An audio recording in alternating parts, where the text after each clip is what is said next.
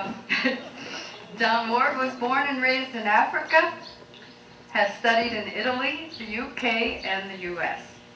His father moved from Africa to Chapala about 25 years ago, and while visiting his father, John fell in love with the area and decided to retire here. He spent the last years, among other things, making a movie. Let's welcome John Ward.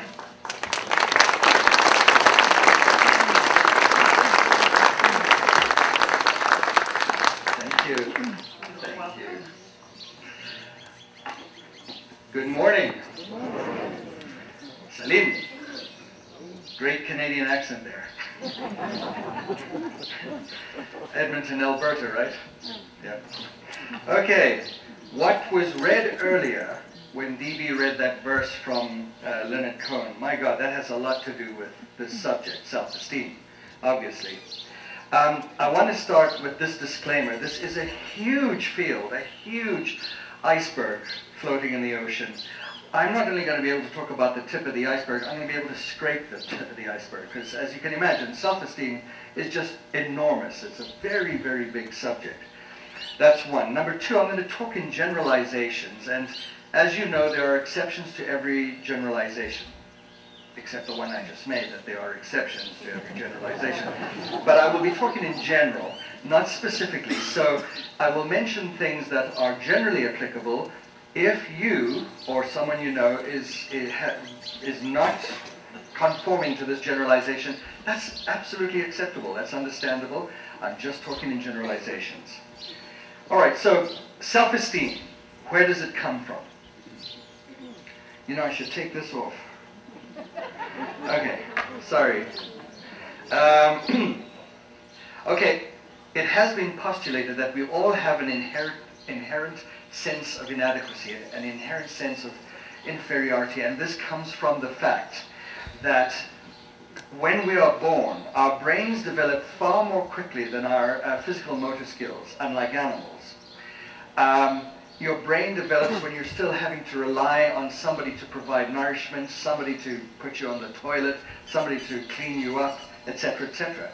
And an unconscious sense of inadequacy uh, kind of um, fosters because you feel, and, and you get irritated as a kid, as a child, you get irritated because, and you don't know why, I mean, it's unconscious, but it's frustrating. You can't do for yourself. And so it's been postulated that that's where it starts. And then, of course, as you grow up, it's how your parents react to you and what they say.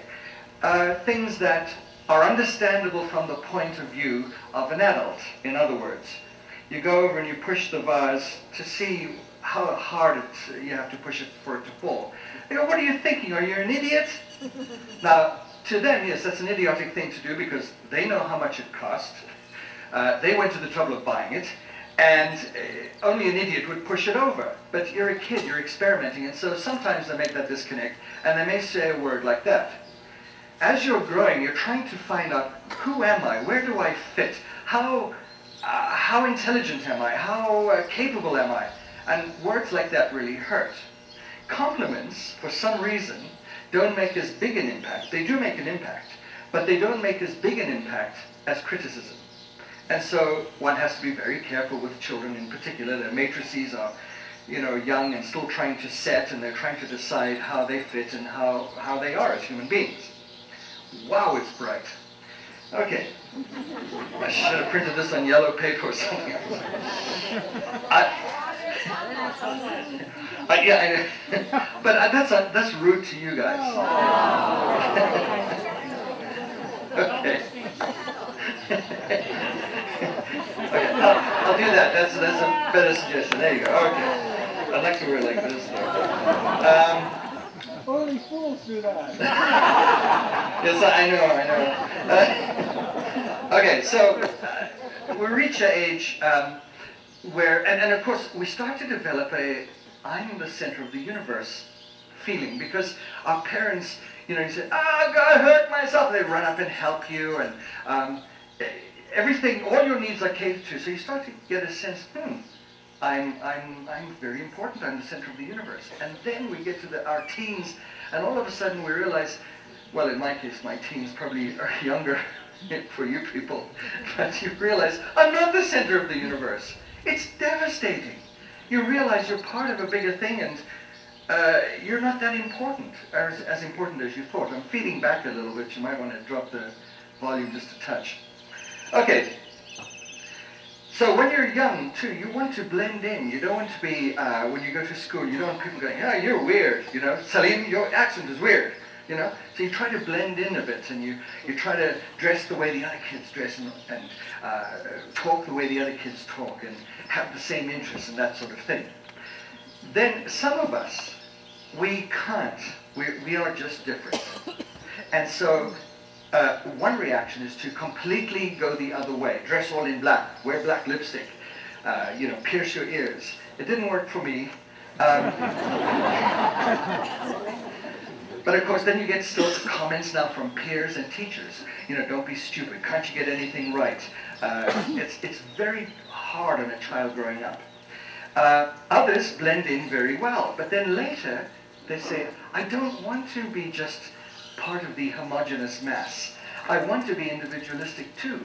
So we do little things to make ourselves stand out. For example, um, you, you spell your name Allison, you spell it A-L-Y-I-S-M-I-T-H. All those letters are silent. You know, it's, just,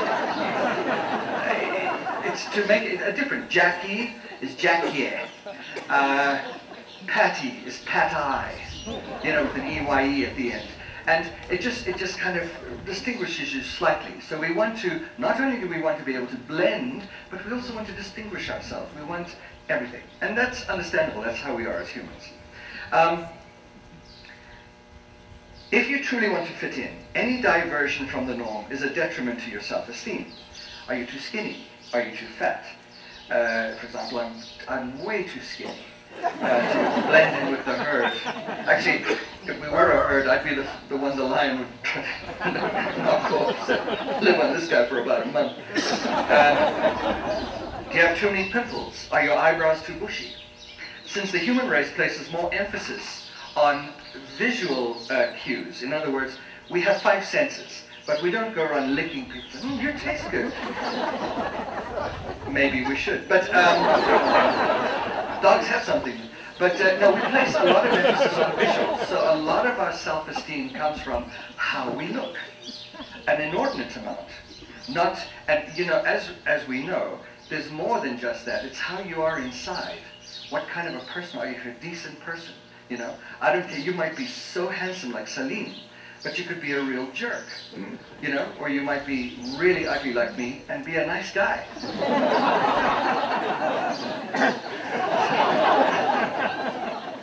okay, so as individuals, we have to, as we have become, we now look outside ourselves to see what relative de degree of individuality we've achieved.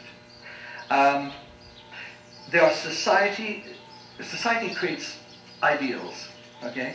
And we look at that, models of happiness, the family unit, two kids, two cars. This is as we're growing up. I have to kind of skip ahead. Um, uh, a, a, house, membership in a club, society, uh, a hobby. Uh, how many of these things have we achieved? And then we start to judge ourselves. Our esteem comes from comparing ourselves with other people, which is wrong. Because if I compare myself um, with this lady right here, who's a brilliant saxophonist, I'm going to go, man, I cannot play the saxophone. I'm, I'm terrible. You know, I had a girlfriend actually who did that. Her name was Kay. I won't tell you her last name, Colvin. Okay. Anyway, she, uh, we dated. She came back to Africa to uh, stay with me for a while, and when I was, I was just a kid. I was somewhere in my twenties, and um, I, I play guitar and I sing. Not very well, but it amuses some people. And she would sit there and fume at concerts I give. And uh, I used to say, what's wrong? I don't understand.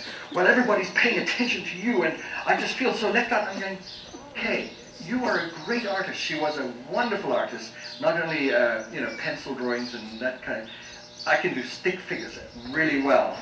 Uh, in fact, I think I won my wife with a stick figure drawing. I won't, I won't describe it to you because it's a little bit naughty. But Kay uh, was a wonderful painter, a wonderful artist. In fact, she's in, she lives in uh, San Diego now, and she is an art uh, artist living on her art and a gallery manager, I believe. Anyway, um, and I say, you know, we're, we're together. My victories are your victories. Your victories are mine. You know, if you're painting and people are going, oh my God, look at that painting, I go, yeah, I, I, I, I have that girl as my girlfriend. I'm pretty good, huh? Look at the painting she can do. I mean, I, to me, that's, you know, it's, these are common victories. Okay.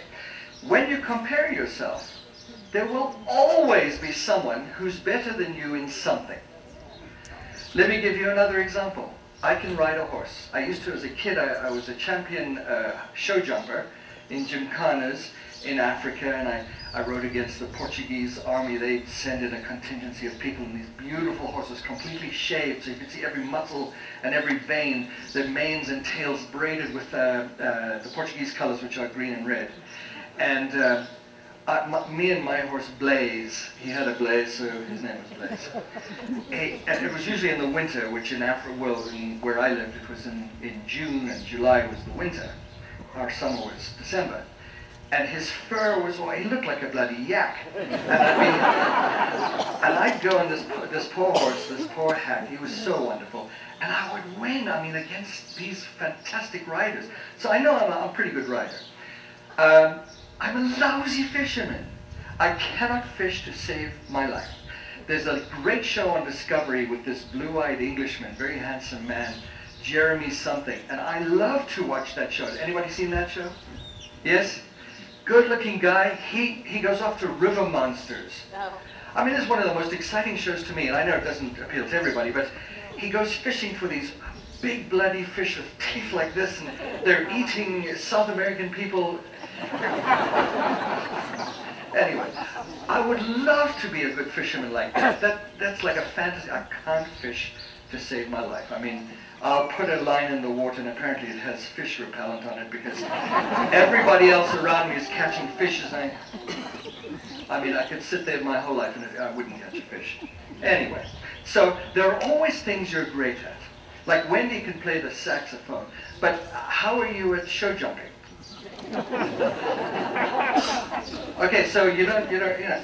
So it's it's uh, kind of a fallacious thing to, to compare yourself with people, uh, other people, because you're always going to be worse than them in something, but you're always going to be better than them in something else. And the thing is to reward yourself by acknowledging and recognizing where you are better. Okay, look at clothing models. I mean, they have set up because these poor, uh, starving, um, um, what's that horrible disease, anorexic women, make the clothes flow nicely or whatever. Now, this is our model of beauty. Generally, they're very beautiful women, but by God, do they need a sandwich? Say that. Okay, put my glasses there. Um, and then women are going, God, I, I want to be beautiful. And that's understandable. And I've got to lose weight, I've got to stop eating, I've got to, you know. And this is awful. I mean, we set up these models for ourselves, and it's just impossible to achieve. Well, unless she, she's achieved it, but, uh, okay. So, um, in France, this is an interesting little piece of information that's come out just recently. In France, uh, the government has banned super skinny models. It's a great idea, but how are you going to enforce that? You know, you say, I'm sorry, you're too skinny, so you can't be a model. Yeah, I don't know how they're going to enforce that, but they're saying we've got to get away from this horrible anorexic look, and we've got to get to, um, you know, normal women with curves and things. Go figure. Uh, okay, so women who look at those women, with one or two exceptions that I can think of, feel inadequate. And this is wrong, this is so wrong. Their self-esteem is damaged. Uh, even if only on an unconscious level, even if you're not conscious about it, you know, you might be think, you might just wish, kind of, you, you know, there's a nagging in the back of your mind, but you don't know what it is, and you just feel uh, inadequate in that one way. So, unfortunately, visual stimuli are very important in, in self-esteem. Okay, so let me go back because I left the heading on this side. Uh, how does low self-esteem affect us? Um, there are many obvious ways it affects us to our detriment. Child who grows up with low self-esteem tends to marry the first person that asks them because they think, nobody's going to ask me. I, I, I've got no value. And so some guy, you know, who's cleaning the sewer in the house, you want to get married? Okay, certainly. Somebody wants me. Um, whether the person is decent, intelligent, accomplished, has potential, is kindly, educated, has a sense of humor, is tolerant, considerate, altruistic, talented, thoughtful, etc. None of this, these are not judgments they make. They just want to feel they belong. The person with low self-esteem will accept spousal or partner abuse. This is often the case, believing they deserve it. Can I get an amen? Amen. That's true, right? I just happened to notice someone in the audience, and we'll be talking about very high self-esteem in a minute.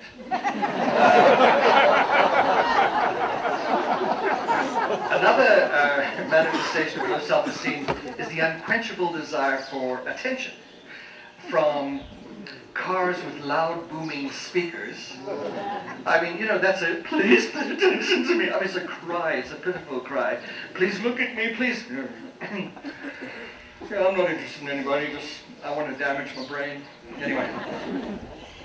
to um, things like uh, Munchausen syndrome, or Munchausen by proxy. Munchausen syndrome is needing attention and saying, you know, like, I'm very sick and I've had operations and I, am having a heart attack right now and getting all the attention you can. Um, by proxy where the woman, you know, is like smothers a child, her own child, and then the child is screaming the place down because it, hasn't died, but it's been, it's under terrible distress and people rush in and there's all that attention. This is a, this is a, a, a, a cry for attention because these people just don't get enough attention in their minds. Okay. Cutting. Cutting is uh, not for attention primarily. Do you know what cutting is? Okay, for those of you who don't, some kids, but also some adults, cut themselves and make themselves bleed, and you'll see scars and things. And this is because they have so much pain, and the pain of feeling inadequate, feeling uh, inferior. All these pain, all these pains, I guess, can be consolidated into one pain, the physical pain of cutting, watching the blood. They often say, it feels like a release, like I, I concentrate the pain there and the pain's flowing out of me. So these are some of the, you know, the, the awful effects of having low self-esteem. It's also illustrated by Groucho Marx when he said, I wonder if you can, anybody can guess? Yes, try. I, I never belonged to an organization that wanted me as a member. Absolutely. He said, I would never belong to any club that would have me as a member, okay? Now, what is that? I don't know if you've ever had this experience. Uh, I have. Um, do you know the expression, familiarity breeds contempt? Okay. That means, uh, I know you, so you can't be a great anything. Are you great at something? Okay. Well, what is it? He's a very good lover. Oh, so, writer, writer. okay, so he's a very good writer. Now, um, let's say he writes something. I can write too. I wrote a, a children's musical, wrote all the music, all the words, everything else. I was living in this little town, and I submitted it, and the theater wouldn't do it. They just wouldn't do it until finally this doctor who lived in the same town said, I'll, I'll, I'll do it. I, he says to them, I've read this, I've seen the music, I've played the music, it's great, we need to do this. So finally they took his word, they put it on.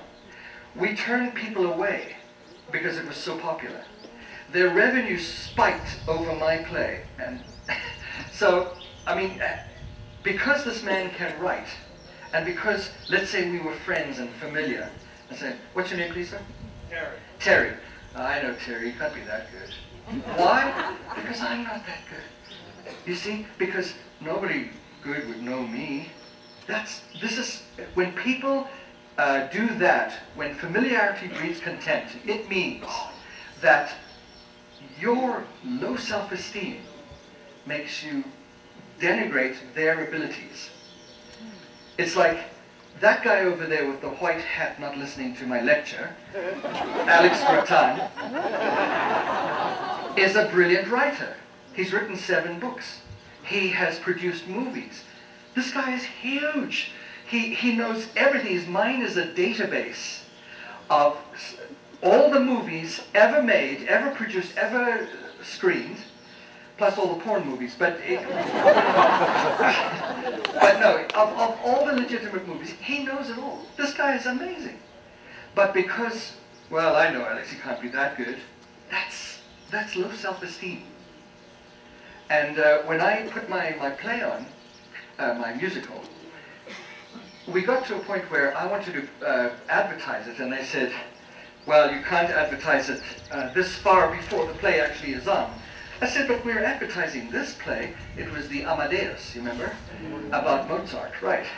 He says, well, Mozart in your play. I said, wait a minute, Mozart didn't write Amadeus, for God's sake. Some schmuck in New York wrote Amadeus. And, uh, you know, Mozart would say, oh, this is an original play, you know, he'd, he'd be very happy to have it. And got music. Mozart would prefer that.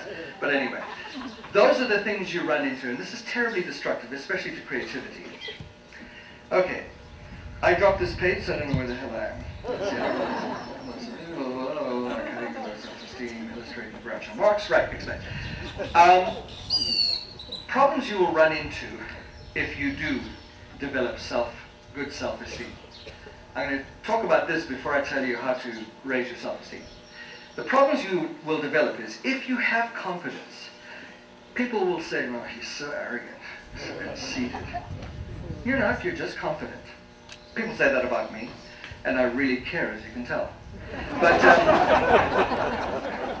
but that's a problem you will run into, that you're arrogant and you're conceited. So what you have to do is you have to try to uh, create uh, a modest high self-esteem. Now those sound like, that sounds like an oxymoron, doesn't it? Yeah. Um, be great, be a great writer, but don't necessarily sit in the front row. I'm joking.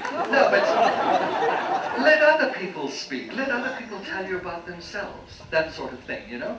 Um, the, you'll, you'll always run into that, and people who feel a sense of inferiority, and it may not be their fault, it may be the way they were brought up, and the inability to keep paper on the bloody lecturine, um, they will always feel that. If you develop confidence, they'll resent you for it. It's, it's normal. People are always comparing themselves to others. Okay. Um, they'll say you have a narcissistic personality, or you're narcissistic just. These are the slings and arrows of outrageous fortune that you have to endure.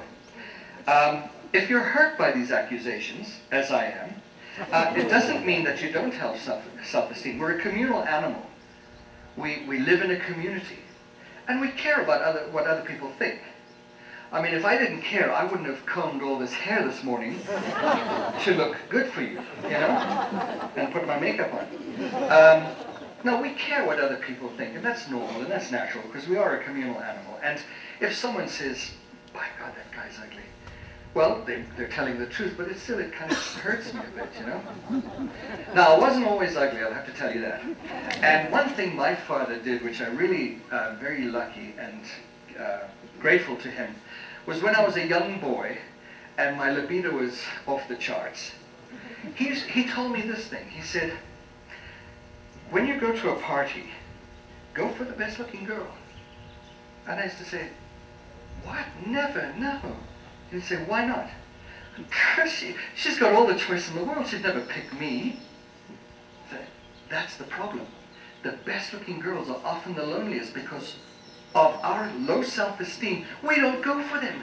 So they stand there looking gorgeous and, and nobody bloody will hits on them. So all the gorgeous women who were lonely, if they were scared, we were scared because we think, you know, oh my God, that, that, that person would never go for me. So I forced myself, and by God it worked. They weren't always the best uh, companions. but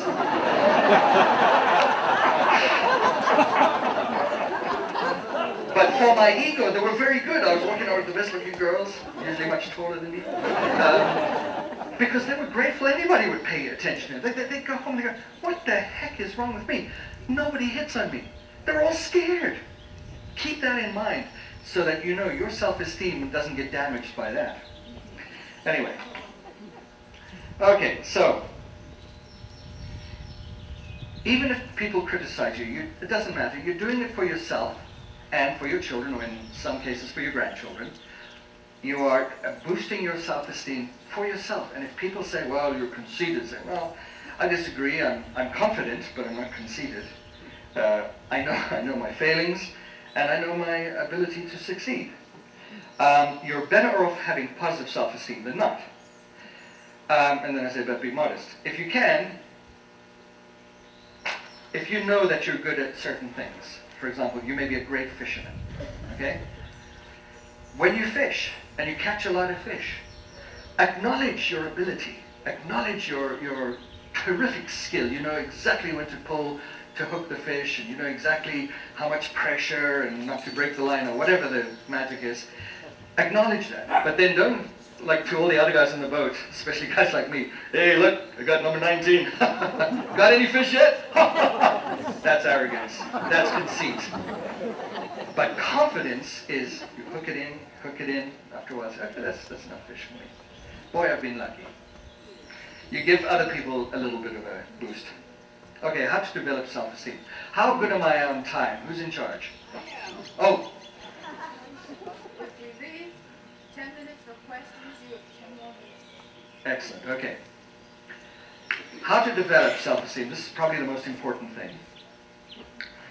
Realize, recognize, number one, how unique you are. Every single person sitting here, every single person, including me, we're unique in every way. That man right there is very unique. Wonderful human being right there. Um, we are unique. So, um, for example, this lady here, there are things about you, about your life, about your knowledge, about your learning, about your talent, your abilities, your character, that are absolutely unique.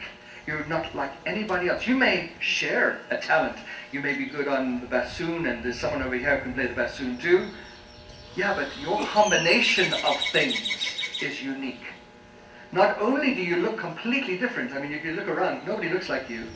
Or if they do, uh, it's similar, unless you're a, a monozygotic twin, they look different. But that's just the looks. Your, yourself, your, your, your consciousness, your id, your ego, your superego, completely different from everybody else. For example, everybody's awake but that man right there, he's completely unique. Actually, he's just resting his eyes because he smiled. I sometimes check my eyelids for holes, you know. Anyway. But that's the first thing to recognize.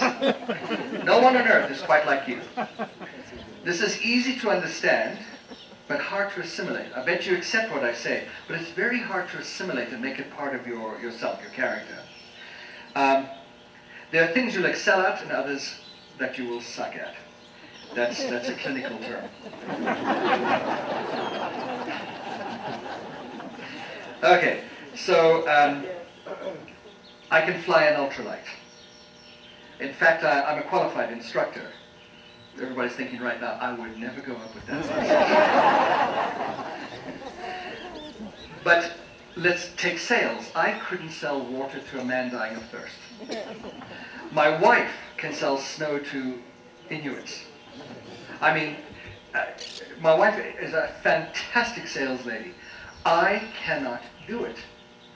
Um, there was one time I succeeded. She went in to sell this man, and he just didn't believe women should be selling or doing anything other than being pregnant in the kitchen and barefoot. So she said, you need to sell this guy. I said, I can't sell you. I'm going to mess it up. No, no, go in. I walked in and said, hi, would you like to buy some advertising for our radio? Yeah? she recognized his deficiency. She didn't take it as, as a, an affront or a slight to her self-esteem. She just said, this guy's a monkey, he wants to be with another monkey. Smart lady. And she's very, very uh, independent and feminist in the true sense. She's not constantly slapping me in the face and saying, I'm in charge, I'm in charge. There's none of that. But, but she recognizes the faults of other people. For example, uh, leering policemen. And she gets pulled over, and she opens a few buttons and, yeah, I'm sorry, I didn't know I was going 120 miles an hour. And by the way, sometimes she does. But she gets away with stuff like that. Except one time we were in, in uh, Chiapas and she didn't use her charm. Uh, we were stopped on the highway by a group of delinquents in, in balaclavas, wielding iron poles and saying, and put this, a rope across the road and we want money for the children in Guerrero. So she started to liken to them. You don't even know where Guerrero is. This money's not going to, it's going to you. You're going to go and spend it on yourselves. Oh, boy, she was nuts. And they asked if she could insult them in Spanish because they weren't quite getting... and she said yes, and she repeated the whole thing in Spanish. And one guy came up and was tapping the windscreen with his pole, like, I'm going to break your windscreen. So they, they let us go with, by, they sprayed our car with black paint, sprayed the, the back license, and uh, I was okay with that because she drives so fast that no policeman was going to see that license. It was like, the license is black, uh, you know. Um, but we went down to Tuxtla and we uh, uh, filed a denuncia so that we could have that in the car when the police stopped us and said, you were speeding or whatever, you know. No, no, here's, oh, why do you have black on your license? Well, here's the denuncia, they sprayed us. Uh, we haven't had a chance to clean it yet. Also, we were hoping to get a new paint job for the car, but my insurance agent is very smart. He took a cloth and he wiped it all off. so we got the same old paint job. But anyway, um, I, I, don't know, that's neither here nor there, but anyway, generally she can understand people's, um, uh, you know, their characters, where their self-esteem is, and how she can manipulate it. In fact, I think that's, that's why she gets away all the time in our family. Thank you so much. Thank you. God. Decent man. Okay. Now, recognize your victories. Not just, uh, I can fish well, but, you know, get on the phone and say, look, there's this thing on my uh, visa. I didn't, I didn't make this, this uh, expenditure. Well, sir, you're going to have to blah, blah. Yes, I understand that, and thank you very much for helping me that way. And you, you get the woman around or the, the person around to saying, okay, I'll take care of that. That's a victory. Recognize it. I was really diplomatic, and I turned that situation around. You know? Um, but that's, that's not the only victories. Uh, for example, a friend comes in depressed, upset for some reason or other, and you speak to that friend, and you point out a few realities which, when they're in the normal, uh, normal frame of mind, they could figure out themselves, but because they're depressed and they're upset, they can't. And you, being in a normal uh, frame of mind, you, you point out these uh, factors they're not factoring in, and you help them. That's a victory. And yes, pat yourself on the back, not literally, but I mean, you know, just, yeah, I helped that person. Recognize these victories, and that will raise your self-esteem. Don't list your faults when you meet someone. Like, hi Salim, I'm, I'm really overweight, I, I don't have any hair. And uh, even if you're doing it like in, in jest, hi, I'm a bit overweight right now, but I'm, I'm, I'm on a diet, and it, it's going to work. People are not looking at you. People are, when, when you meet someone for the first time, they're wondering, what, what, what does he see with me? What's wrong with me? If you spend your energy putting other people at ease, you forget about your own problems. You forget about your own uh, inadequacies. You say, hi, how are you? Recognize that that person's saying, I wonder if he thinks I'm overweight, or I wonder if he thinks I'm too skinny, or I wonder if he thinks, la la la. Put them at their ease. Hi, it's lovely to meet you.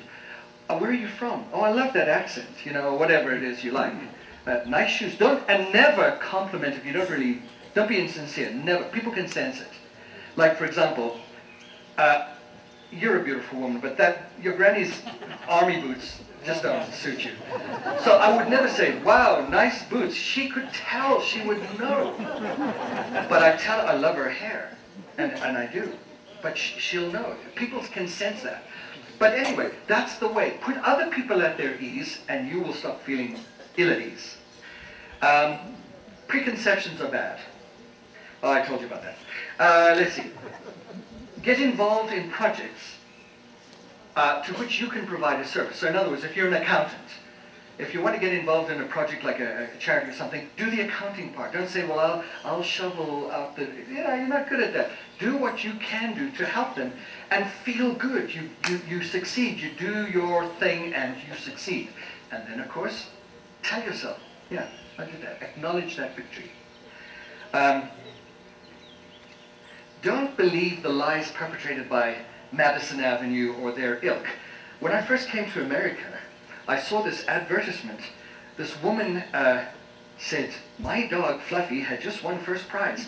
When I bent down and lifted him up, my stockings won the booby prize because the stockings got all kind of stretched out. And boy, I should get L'eggs or one of the Hanes or whatever. My God, creating a, se- a sense of inadequ- inadequacy, creating an inferiority complex so you'll buy their product. They do that. They create that need by saying, oh, people are looking at your stockings and if they're bagging, boy, you know, people are going to reject you. That's not true. Nobody's looking at your bloody stockings. You know, and don't buy this stuff that says you're not a man and uh, that's not a man unless he smokes the same cigarettes as me, that kind of stuff, you know. Uh, that was from uh, Satisfaction, one of the greatest songs ever written. I'm afraid I can't quote Leonard Cohen, which would probably be better. Um, but the most important thing is, and this is the final thing, know thyself. Know yourself. Know your strengths and weaknesses. And realize how unique you are. You know, I, Wendy here, uh, fabulous person, lovely personality. I wouldn't ask her to lift, say, my full Tinaco off the roof and put it somewhere else. she couldn't. She doesn't have the, the power. But I might ask that man right there. but then I'm not going to ask him to play the saxophone. Anyway, so know thyself. That is the last little piece of information I'm going to give you. Unfortunately, it's a very shallow kind of a treatment of this. It's a huge subject. You're putting yourself down. Okay. And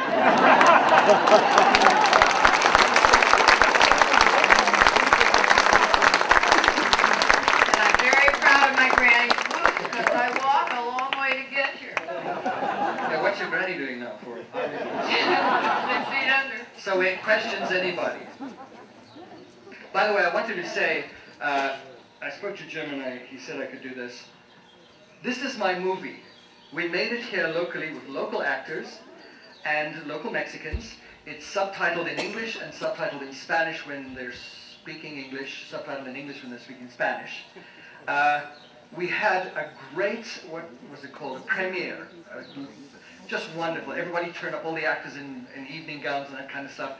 I hired a limousine, but I couldn't afford more than one, so they all walked through the back doors of the limousine. Like, we filmed them coming out. So they all looked like they arrived in a limousine. Uh, and we got these little golf carts to take them like 20 feet from the limousine to where the interviews were being held on a red carpet. Oh, we did it up big. Now, a lot of people were snowbirds, and so they didn't get a chance to see the film. You've got another chance now. This is the Snowbird special screening. It's, it's a comedy, it's a mockumentary. Anybody know what that is? Okay.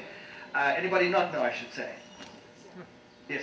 It's uh, like a documentary, but it's scripted. It's funny. They're, they're like giving interviews, but, uh, you know, all right. So um, it's a comedy. It's a, a 100 minutes long, so that's an hour 40.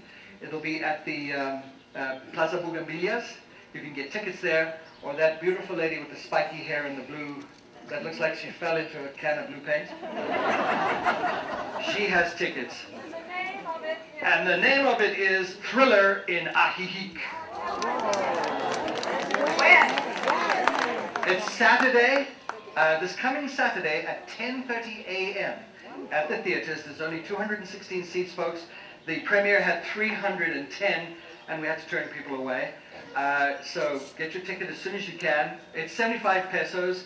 Uh, it's, uh, that's a fundraiser for Red Cross to pay the theatre, etc., etc., et and the and the promotions.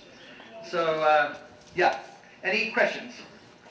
Yes, the routine is the same. You raise your hand, someone will bring you the mic and hold the mic so you can clearly hear your own voice. Which anyone who's been to school knows. We forget. Sure, I'm sorry. It's such- Oh, it's such a good talk. Does uh, self-esteem involve comparing yourself to other people? Yes, very Why? much so. Why? Um, it's a natural uh, propensity we have. So, so you're judging whether you're better or not? Exactly, or whether someone is better than you. Yeah. For example, if I start saying, if I start comparing myself, Christ, that guy's tall. I wish I had more height, you know. And now my self-esteem is suffering because you're taller than me, you know, which is silly. But that's your problem. not mine. Exactly, exactly. It's not your problem. Now, But you're not, you're not comparing yourself to other people as you're better than them. Because I don't believe comparing yourself to other people yeah. makes any sense. You gotta. I agree with you, a hundred percent, absolutely. Yeah, yeah, absolutely. Any other questions? That lady right there.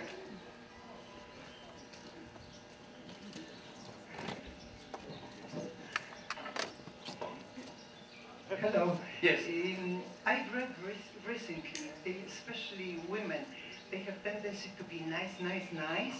And I was always surprised what it's all about. And they said like uh, in early life, the way they were treated by mother, by father or somebody else.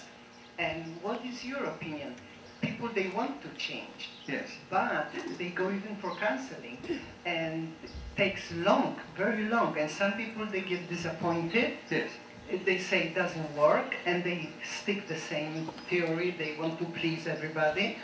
But you were giving good example, like, for example, I am not good salesman. I will not sell. And go and ask, and they give little uh, ideas to, to do it Yes. and goes and sells like you were mm, selling and work.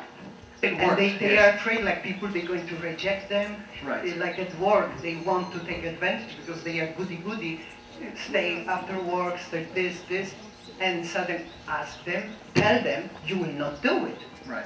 Uh, they do it and works. But you think it's a very long process to change or it depends on what? It's individual. It's a long process for some people, and for some people, very short process. For me, it's long because I'm not too smart.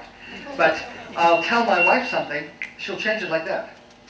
You know, uh, I'll say, uh, if you're, like, for example, uh, you swing around at night in your sleep and you beat me up.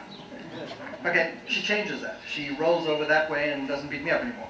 Uh, for me, uh, it's, it's difficult. I like selling. For me, is just insane. I, and it is. She says you've got to be uh, uh, able to take a lot of rejection. I, it's for me. It's like you don't want it. You don't want it. Okay, I guess it's not valuable. Uh, you know, and I accept that. Just different for different people, though. Any other questions? Yes. Salim.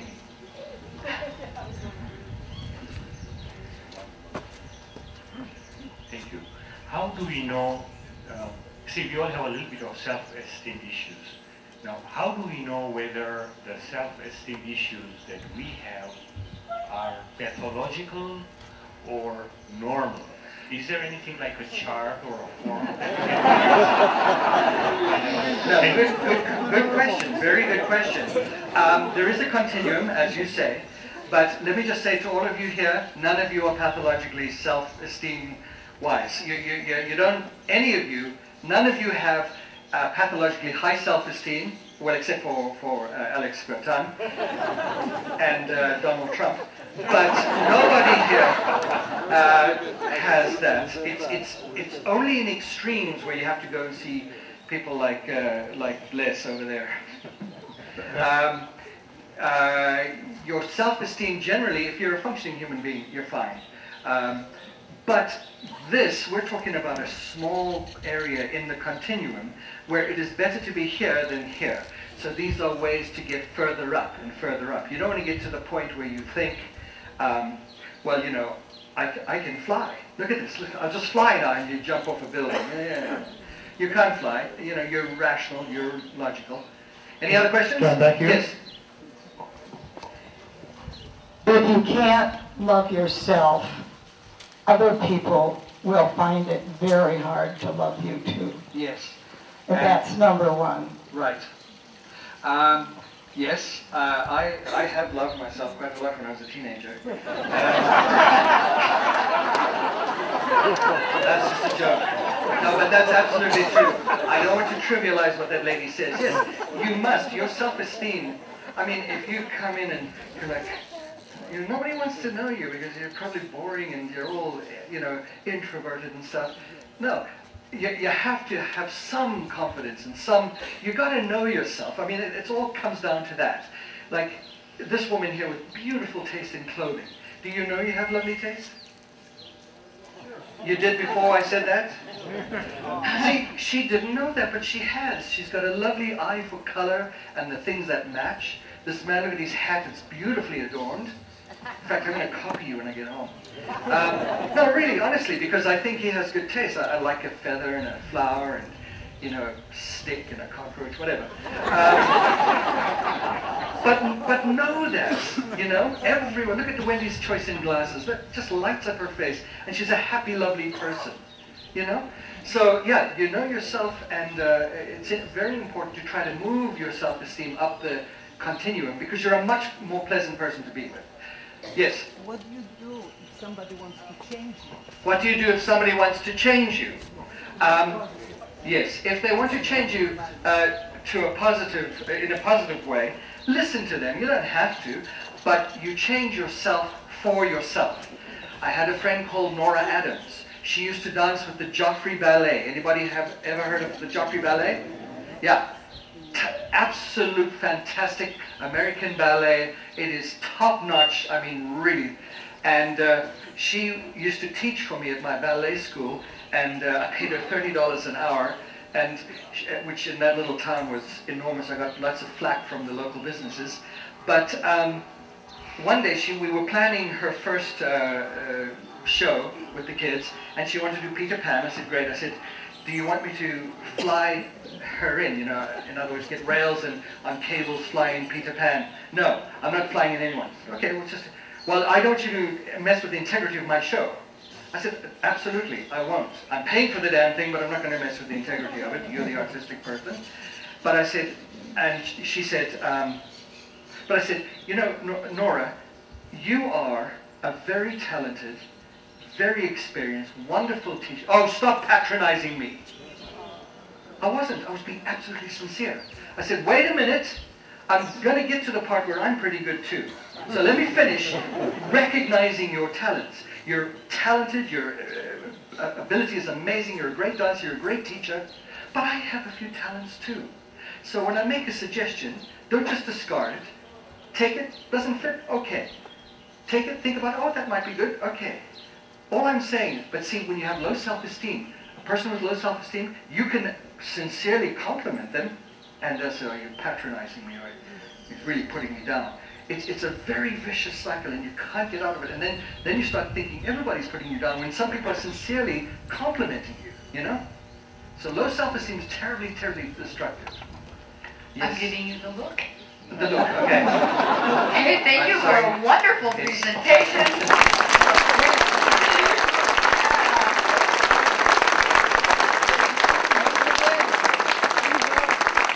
We leave here taller and more confident.